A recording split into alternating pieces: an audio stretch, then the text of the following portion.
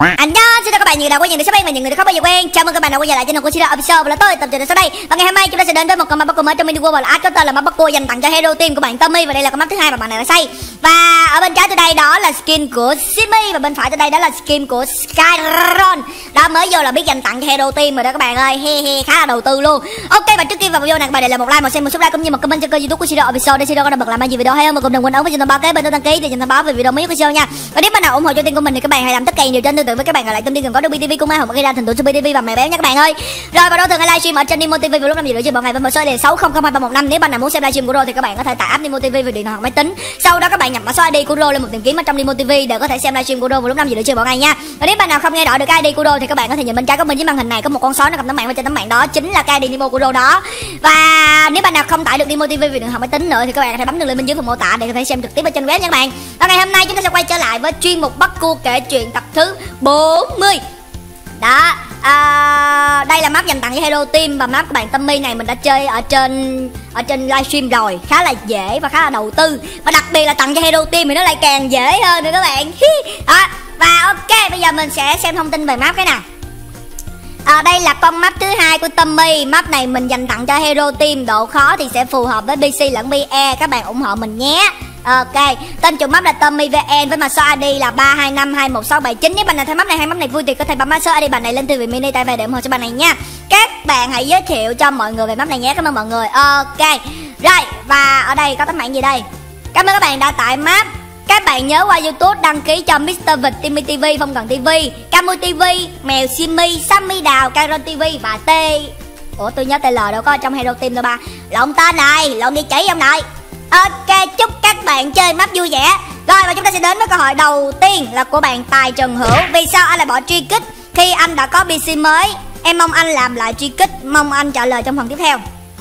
Ok thì uh, câu hỏi của bạn này có hai vế. Vế đầu tiên là tại sao anh bỏ truy kích Và vế thứ hai đó là mong anh làm lại truy kích? Thì mình xin trả lời cái vế mà ngắn ngắn hơn. Trước đó là cái vế uh, mong anh làm lại truy kích Thì xin lỗi mình sẽ không làm lại. Bởi vì truy kích bây giờ không còn là niềm đam mê của mình nữa Và bây giờ mình quay về đó thì mình cũng chẳng làm được gì. Cũng như là cộng đồng bên đó thì nếu như mình có quay về chăng nữa Thì cộng đồng nó cũng sẽ không tiếp nhận mình. Nên là mình cũng gọi là không tha thiết lắm Khi mà quay về một con em đã chết đã chết trong lòng mình chứ không phải là đã chết uh, theo kiểu gọi là đã sập nha. Đã chết trong lòng mình mình không muốn quay về một con game như vậy. Và có rất nhiều bạn uh, và đây là cái lý do tại sao mình nghỉ game đây. Uh, có rất nhiều bạn uh, nghe được cái lý do từ livestream từ những cái video trước của mình đó là vì cộng đồng quay lưng với mình. Và ở phía sau đó còn một số lý do nữa mà mình không có nói ra ở những cái video trước cho các bạn nghe bởi vì mình không có muốn. Bởi vì nếu như mà mình nói là những lý do này thì nhiều bạn sẽ bảo mình là ờ uh, mày đang nói xấu game. Nhưng mà do các bạn qua kênh của mình các bạn hỏi quá nhiều nên thôi mình mới uh, nói ra hết tất cả những cái lý do mà tại sao mình lại nghỉ truy kích và dẫn đến gọi là kênh của Sido thời điểm hiện tại. Thì uh, cái lý do đầu tiên là do xóa map do gọi là game xóa map là đúng. Và lý do thứ hai đó là do AD làm việc. Không gọi là không gì ta? Không chuyên nghiệp và không quan tâm đến uh, gamer nữa. AD theo kiểu bây giờ chỉ theo đúng chất là AD chỉ đi hút máu người chơi thôi các bạn từ khi cái chế độ RBG ra thì đô cảm thấy là AD nó không còn gọi là quan tâm đến người chơi nữa. Và cái lý do thứ hai nữa đó là AD chơi, kiểu, không đẹp. Hồi trước thì mình đã từng có một lần mình nằm trong một cái gọi là ban gọi là quản lý một phần của game và được AD cấp ạc cho dùng. Kiểu, rất làm được nhiều thứ và mình được quản lý của game. Và cấp được con ạc đó xong rồi, kiểu, làm được, làm đi lên đi lên đi lên, kiểu, cái lúc đó hình như là mình cũng tầm khoảng 35 nghìn sub và mình làm được tầm khoảng đâu một tuần hay mấy tuần mấy tuần đó một hai tuần gì đó. Thì ad tự nhiên kích mình ra khỏi nhóm chat và kiểu thu hồi là à không có cho mình dùng nữa.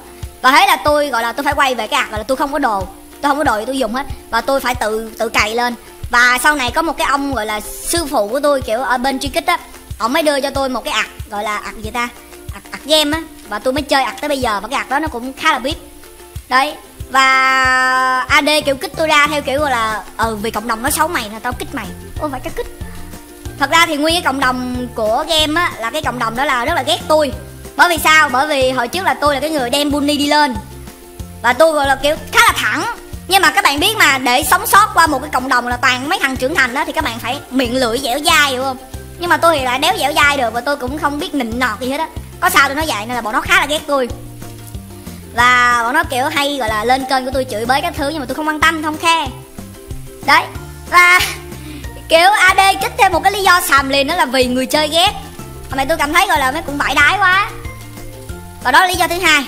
Và lý do thứ ba nữa, đó là game này đã không còn là game để anh em chơi với nhau nữa rồi. Mà đây người ta thuộc gọi là một con game, gọi là game bắn boss mẹ rồi và tôi không thích chơi những con game bắn boss. Tôi thích chơi những con game mà anh em có thể, gọi là, bắn với nhau và nói chuyện với nhau, chat chít với nhau một cách, gọi là, vui vẻ bình thường chứ không phải là vô chỉ để bắn mấy con boss cho nó sưu tập súng. Như bạn kêu là truy kích ra chế độ rbg này á, đỡ hút máu, thật ra tôi thấy hút máu hơn trước á. Tại vì sao? Tại vì chính bản thân chế độ rbg đã hút máu rồi. Thứ nhất, hút máu vì gì? Hút máu vì nâng cấp súng. Thứ hai, nâng cấp nhân vật, nâng cấp pet nâng cấp cánh, tùm lum thứ hết. Phải nâng cấp. Và để nâng cấp được nhanh, các bạn phải nạp tiền. Và để có thể qua được ải một cách dễ dàng, các bạn phải nạp tiền và các bạn mua những khẩu súng vip và các bạn kêu là các bạn vào rồi bây giờ các bạn săn súng vui, chơi mà các bạn săn xong các bạn không đi chơi với người cũng vậy. À. các bạn cứ săn xong rồi các bạn đi vô các bạn chơi với boss. Trời đủ chơi với boss có gì vui. Và đó là lý do thứ hai đó là game nó càng ngày càng đi xuống càng trash và cái lý do thứ ba nữa đó là game bắt đầu quay lưng dần với tất cả những cựu game thủ. Từ Nam Lu, Jerry cho đến những game thủ đã nghỉ game. Thì tất cả cộng đồng đều quay lưng lại chửi hết. Chửi không chừa một ai mặc dù hồi trước họ cống hiến cho game rất là nhiều. Nam Lu có thể bây giờ các bạn ghét ảnh thật vì ảnh qua livestream PUBG nhưng các bạn không thể nào phủ nhận một điều được rằng cái phong trào cận chiến zombie là từ Nam Lu mà xuất phát ra. Các bạn hiểu không? Hồi trước cái lúc mà anh Nam chưa lên á, tất cả mọi người chỉ đều gọi là, với một cái gọi là tư tưởng là thẩm du thôi. Tức là chỉ thủ và đợi zombie lên mà bắn thôi. Chứ chẳng ai biết đi cận chiến là gì cả. Và anh lâm là cái người quan tâm với cộng đồng nhiều nhất nhưng ảnh là một người ad ẩn và ảnh không, gọi là, lộ diện nhiều. Đó là nhiều bạn thường không biết anh lâm. Và bây giờ thì tất cả những người đó nghỉ hết rồi và game bắt đầu quay lưng là hết những người đó và tất cả cái cộng đồng đều, gọi là, quay lưng lại chửi những người đó và nói xấu những người đó. Đó là mình cảm thấy là game bây giờ cũng không đáng để chơi nữa. Riêng với bản thân mình là vậy. Có lẽ, có thể con game đó ad bảo là tới 2021 mới bắt đầu sập, mới bắt đầu là hết bản quyền không được mua được nữa. Nhưng đối với mình ở thời điểm hiện tại con game truy kích đó đã là một con game đã chết ở trong lòng mình. Và mình không có muốn quay lại một con game đã chết nữa. Mặc dù mỗi tối á, tôi vẫn vào game mà tôi theo dõi những cái hoạt động của game. Nhưng mà tôi vào tôi treo để đó thôi. Tôi chẳng thèm chơi nữa. Lâu lâu vài nhá hai ván xong bắt đầu cảm thấy chán. Bởi vì sao? Bởi vì bây giờ anh em chơi với nhau không còn như trước nữa. Các bạn hiểu không? Chơi bây giờ vô mình vô chơi mình mình nhảy nhảy nhảy nhảy. Chán liền. Sau mình lại tắt mình lại đi ra mình lại treo đó treo để làm gì? Để giúp cho game nó có thêm người chơi thôi, chứ mình đâu có biết làm cái gì bây giờ. Mặc dù là mình nói là mình con game đã chết, nhưng mà thật ra thật lòng là mình vẫn muốn giúp một cái con game mà mình đã từng đi lên, tại vì cái con game đó đã từng giúp mình đi lên đến tận thời điểm bây giờ, mình rất muốn giúp nó.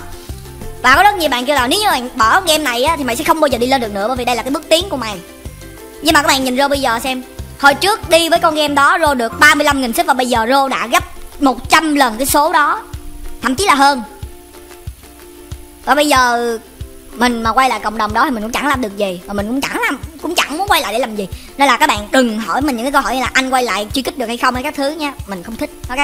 Rồi ok tiếp theo là của bạn thành hưng. Anh ơi anh jerry gaming bán kênh rồi phải không? Mong anh trả lời trong tập bắt cô cây chuyện 40 rồi ok câu này thì xíu nữa mình trả lời sau nha. Hero team thì là vào ngày mấy? Ngày 6 tháng 1 năm 2019 má ông này biết luôn ta. À, hero team gồm mấy thành viên? 8 ok. Uh, ai là người thành lập ra hello team? Mr vịt. À, chủ chạy dịch ok rồi đây là map thứ mấy của chủ map, map thứ hai? Easy rồi à, đây là step thứ mấy? Step thứ 15 ok luôn. Lưu điểm xin này nè. Mini game hãy chọn một cửa để có thể sống sót. Nhận siêu độc lửa siêu đốt một con sư tử không ăn gì trong 3 tháng. Cái này ok. Rồi tại vì sư tử không ăn 3 tháng là chết mẹ các bạn rồi ok anh Lâm Jerry bán kênh Jerry Gaming bán kênh thì à, đó là một cái nguồn tin các bạn nên tin nên tin là thật bởi vì anh Lâm anh đã bán kênh thiệt rồi. À, anh bảo là anh khá là mệt mỏi khi mà làm với cái nghề này cũng như là anh bây giờ anh không có thời gian nhiều. Hiện tại anh đã có một cái công việc mới ở bên ngoài đó là một cái công việc gọi là làm cho một công ty nước ngoài và lương cũng khá là cao. Thật ra mà đối với những cái người mà cống hiến từ trước đến giờ cho game á thì mình nghĩ anh lâm là cái người là cống hiến nhiều nhất. Bởi vì anh là một người cống hiến thầm lặng nhất game luôn và ảnh luôn gọi là cống hiến mà anh không đòi lại bất cứ thứ gì cả. Và đến cả làm youtube này á anh kêu là anh chán con game này lắm rồi. Nhưng mà vì anh em anh mới ở lại anh làm thôi. Chứ thật ra thì anh cũng thấy cái cách làm việc của game nó càng ngày càng đi xuống anh cũng không thích. Và thậm chí là anh đã tâm sự mấy lần với tôi anh muốn chuyển game rồi. Và có một đợt anh định chuyển qua bên mini world chơi với tôi. Nhưng mà tôi nói là thôi anh ơi anh đừng chuyển tại vì cách cái cách uh, edit video cũng như là cách nói chuyện và bình luận của anh đó thì em thấy là không hợp với con game con này đâu thế là anh lâm anh kiểu ờ à, thật ra thì anh cũng không định chỉ đâu em à anh định kiểu đổi gió tí thôi. Tại vì cái con game chơi kích này làm hoài nó cũng nhàm kênh với cả là kênh của anh bây giờ đi xuống rồi anh cũng không thiết gì nhiều. À, chủ yếu là anh làm vì anh em làm vì những người còn lại truy kích và làm vì những người gọi là người ta đi theo mình từ hồi nào tới giờ. Anh nói là anh cống hiến với anh em. Và bây giờ tôi còn nhận được một thông tin là tất cả những cái người ở trên cái group truy kích đó đang dần dần là má tự quay lưng lại chửi anh lâm và tôi cũng không hiểu tại sao các bạn lại chửi một cái ad rồi cực kỳ thân thiện dễ tính và dễ thương như lâm luôn tôi nói thiệt anh lâm cực kỳ dễ thương nói chuyện dễ thương cực và các bạn quay là các bạn chửi lâm và các bạn nói lâm này nói lâm nọ trong khi ảnh là cái người cống hiến trước giờ cho các bạn và sau đó thì anh nghĩ thì các bạn lại bắt đầu các bạn quay ra các bạn chửi anh tôi thì những cái gamer mà từng nghĩ truy kích á từng công hiến cho truy kích á mà nghĩ một cái là các bạn quay ra các bạn chửi hết và bây giờ các bạn đi tôn thờ hai streamer rồi là không ra gì không phải là không ra gì mà hai streamer thiếu chuyên nghiệp theo tôi đánh giá là như vậy hai streamer hiện tại của truy kích hai cái bộ mặt hiện tại của truy kích hai streamer nữ truy kích hiện tại tôi đánh giá là hai streamer thiếu chuyên nghiệp. Bình luận không ra gì. Bình luận thì ấp a ấp úng ấp ớp ớ chơi cũng không có trình luôn. Mà tổ chức giải thì tổ chức cũng phêu vải đái ra. Mà mấy ông lại tôn thờ như hai thánh nữ tôi cũng éo hiểu kiểu gì. Nói chung là cái cộng đồng truy kích nó nát vải đái. Ok và chúng ta sẽ đến với câu hỏi tiếp theo. À, anh đô ơi nếu mình thích một người nhưng người đó không thích mình mà thích người khác thì em phải làm sao? Thì bỏ thôi em trời ơi, đâu có ai mà là thích một người khi mà biết là người đó đã phải chi mà em nói là em thích một người nhưng người đó không biết thích em hay không á, thì mà anh anh còn chỉ cho em được cái cách gọi là ờ làm thế nào để biết được nó có thích em hay không hay là các thứ mà mà cái đằng này em đã biết được rồi là nó đéo thích mình mà nó thích thằng khác rồi, nó thích con khác rồi, mà em vẫn cứ hỏi anh là em nên làm gì đấy anh, thì mà tao cũng thua mày luôn đó. Có thề, bây giờ nó không thích em nữa phải không? Thì bỏ, trời ơi, thế giới này biết bao nhiêu người con gái em tại sao lại cứ đắm chìm trong một đứa là thế nào? Phải chi mà nó người yêu em mà nó yêu thằng khác thì cái đó mới đáng nói. Còn này mẹ chưa là gì của nhau rồi không? Mình là gì của nhau? Người dân. Mình là gì của nhau? Người lạ. Trời đủ ok nói chung là bỏ em. Vậy thôi mình ờ, cũng chỉ biết ờ, khuyên như đây thôi. Ai da ai da. Ok và đến với câu hỏi tiếp theo. Ba ba ơi nếu có nhiều người bu vào ném đá ba ba thì ba ba sẽ làm gì? Mong ba trả lời trong tập của cô kể chuyện tiếp theo. À, à ba ba này là tức là cái uh, cái gì ta? Những bạn fan cứng của Rô á, thường hay xưng Rô là ba ba và Rô thường hay xưng là con. Tại vì sao Rô lại xưng như vậy? Bởi vì mấy bạn kêu là Rô là Rô Rô hãy đặt fan, đặt đặt cho cái tên fandom của anh đi. Đặt cái tên của cái nhóm fan anh là gì đi. Thì Rô kêu là Rô là sói dương. Thế là mấy bạn nó tự kêu là thế tụi con là sói con nha. Đó, thế là mình mới gọi mấy bạn đó là sói con luôn. Đó đây là đỡ với bạn nào thắc mắc khi mà xem livestream của Rô nha. Tại vì ở trên livestream Rô thường hay xưng với bạn là con với ba mà. Tại vì các bạn comment các bạn càng kêu ba ba ba ba không thì mình cũng, gọi là, thấy dễ thương nên là mình xưng lại luôn đấy. Ok, thì nếu nhiều người bu vào ném đá ba ba hả, thì mình bỏ thôi. Tại vì mình, thật ra thì chửi lại á, là cái tôi phải rất là cao. Nếu bài nào tôi càng cao thì các bạn sẽ càng chửi lại. Nhưng để thành công á, thì các bạn phải hạ cái tôi các bạn xuống. Khi các bạn, khi nào mà cái tôi của các bạn mà nó hạ xuống cái mức gọi là nó nhỏ như con kiến nhỏ như hạt cát rồi đó, thì lúc đó các bạn đã trở thành một người khổng lồ. Để thành công thì các bạn phải biết hạ cái tôi mình xuống. Để đạt được mục đích lớn hơn thì các bạn phải biết thu nhỏ mình lại và sống theo cái kiểu gọi là nhịn nhục. Ok và đến với câu hỏi tiếp theo nữa. Và câu hỏi này là tôi nghĩ tôi đáng trả lời. Okay, hết má mà tôi không định trả lời câu hỏi này nhưng mà câu hỏi này tôi nghĩ là đáng trả lời đây. Của bạn bí ngạn anh có tức khi anh thấy fan chửi người yêu không? Mong anh trả lời trong bắt cô kể chuyện tập 40 nha. Tức thì có tức. Và hồi đầu mình cũng đã làm một số cái stút mà lên mình nói này nói nọ rồi.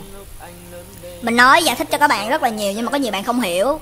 Ờ, mình chỉ viết đúng ba cái số thôi và mình không viết nữa. Bởi vì dù bây giờ mình có nói đi chăng nữa thì các bạn cũng mãi là không không hiểu. Các bạn không hiểu là không hiểu. Thế là mình cũng không không buồn nói nữa. Mình cứ để thế nào thì nó cứ đi, thời gian trôi qua các bạn sẽ tự quên thôi. Tại vì người yêu của mình thì mình cũng không muốn công khai nhiều. Công khai nhiều quá thì các bạn là bắt đầu đâm ra các bạn đi nói này, nói nọ. Và các bạn cứ làm phiền người yêu mình.